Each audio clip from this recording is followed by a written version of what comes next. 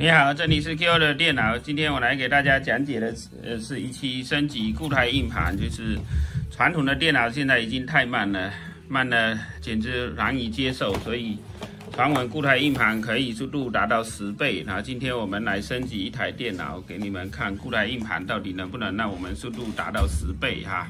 就传统硬盘已经慢得像蜗牛。我们先测一下，现在传统硬盘到底能跑多快啊？这是这台电脑。我们现在给它开机哈，我们现在让它开机看看需要多长时间。